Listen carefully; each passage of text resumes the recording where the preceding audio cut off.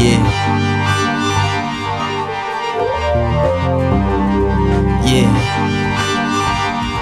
The cool. Turn me up. Uh huh. Yeah.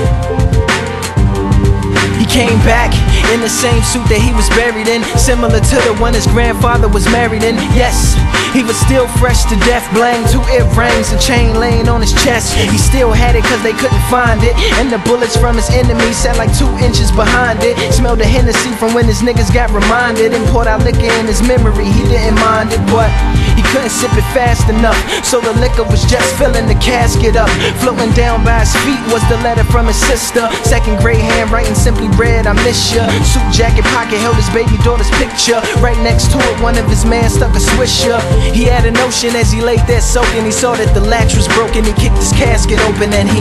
This life goes passing you by.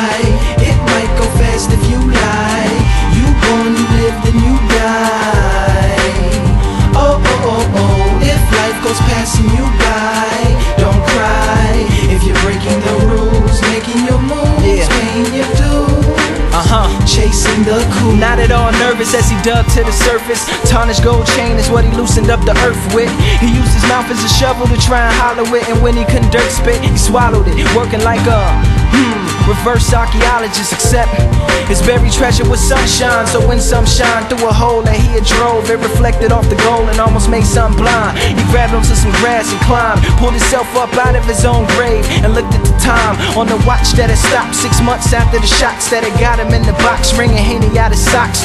Figured it was hours because he wasn't older. Used some flowers to brush the dirt up off his shoulders. So with a right hand that was all bones and no reason to stay, he decided to walk home. So he This life goes passing you by. It might go fast if you lie. You born, you live, then you die. Oh, oh, oh, oh. If life goes passing you by,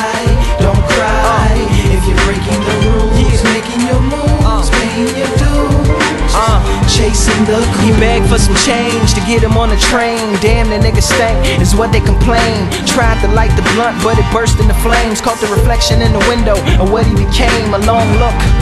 Wasn't shook, wasn't ashamed. Matter of fact, only thing on his brain was brains.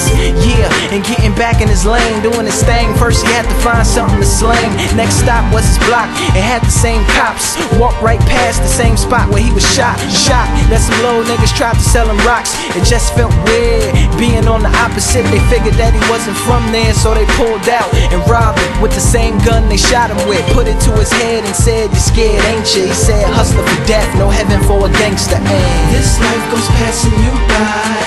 It might go fast.